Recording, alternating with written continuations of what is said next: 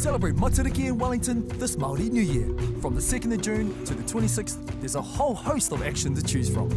Featuring Kaumatua Kapahaka, Ngā Toi He Whakamiharo, engaging kōrero and konohete for everyone.